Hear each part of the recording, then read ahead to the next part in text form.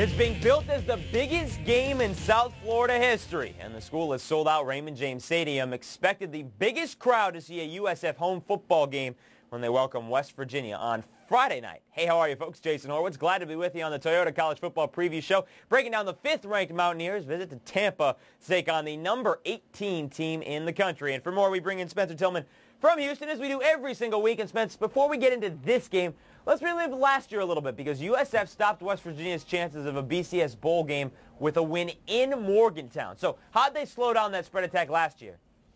Well, it's simple. You just fundamentally tackle. Anytime somebody's going to come out offensively and spread you out, you've got to be able to tackle. That's the bottom line because you're basically pitting athlete on athlete. And if you don't stick to the fundamentals of the game of football, you'll get exposed. All you got to do is ask Michigan what happened to them uh, early on against Appy State, and we can go down the line of these spread offenses and what they've done to what has heretofore been known as quality defenses. So fundamentally tackling is the key.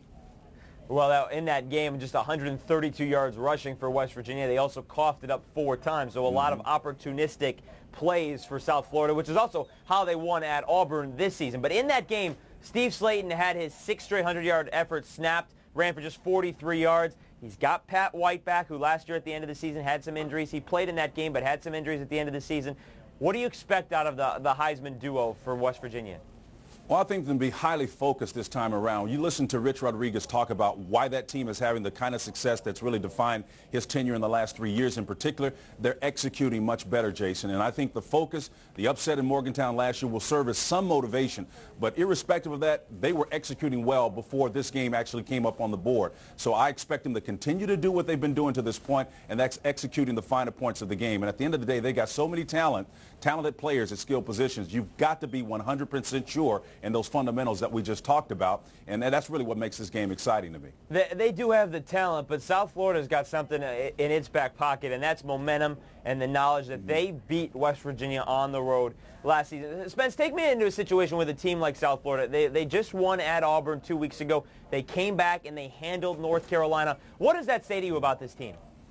It tells me about the maturity. I mean, we contrasted with the team in the SEC, Alabama. We keep going back to them. They had the big high win over Arkansas. Then they come back and their quarterback lays an egg, at least for the first half of that next performance. What you're looking for is consistency, particularly when you're trying to reclaim a team and reclaim a program. So I think that's the biggest difference. And going and putting out uh, a team that they were better than, talented than. Butch Davis is doing a great job in the reclamation project there. But uh, this team was simply better. And I'm not so sure they're not the second best team in Florida right now, South Florida. Well, we'll have to see about that. Uh, they don't get to play Florida, Miami, or Florida State this season uh, unless they see him in a bowl. Uh, talk to me about Matt, Matt Grothe. He had a good game last year. He's been playing very well this season. Uh, how does he look in this game Friday night offensively against this West Virginia defense? Well, West Virginia, oftentimes their defense is maligned or at least not talked about as much because of what they've got on the other side of the ball. But they're playing sound, fundamentally in defense. What he's got to do is do what he's been doing all year long. Uh, he kind of reminds me of, of a Matt Schaub type guy. He stands in the pocket. He reads the defense exceptionally well. He's poised. He's got tremendous size and skill sets, and he's got tremendous vision. If you watch him demonstrate the patience in last week's game, going to the second and the third options, uh, that's impressive to me to see a guy do that at the collegiate level with the consistency that Matt is doing it right now. So he's a tremendous quarterback. He just needs to continue to do what he's done so far so well. Spence, it's the biggest game in South Florida history. At least that's what they're saying. They beat West Virginia on the road last year. Do they beat them at home this season? Well, I don't think it's going to happen. I think what happens is when you lose, particularly at Morgantown and you're West Virginia, uh, look, folks, this is one of the biggest games for them because their schedule, the way it sets up, they're pretty much knocked out of national championship contention if they lose this contest, in my opinion. Uh, you got to go in. You learn a lot from what you've done last year. And so Rich Rodriguez is one of the smartest coaches in the business. They're not going to lose two straight to this group. And you know how big of a game it is in West Virginia when the high schools are changing their game from Friday night so they can watch the game Friday night uh, at South Florida. Spence, thanks for all the knowledge. We'll see you Saturday on the College Football Today. All right, Jason. We'll see you, man.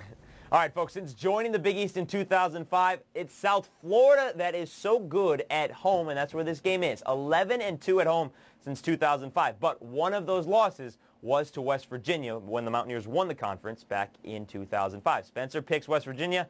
I'll take South Florida. The two kick it off Friday night at 8 o'clock Eastern. And for more on this game or any other in Week 5 of the college football season, be sure to stay with CBSSports.com and watch everything else on the CBS Audience Network. For Spencer Tillman, I'm Jason Horowitz. Take care.